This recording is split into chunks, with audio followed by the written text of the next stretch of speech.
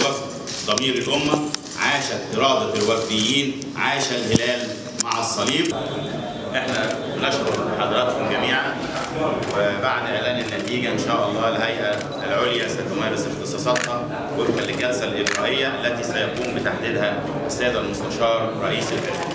شكرا شرفتونا وشرفتوا حزب الوفد دايما في تعاون ألف شكر.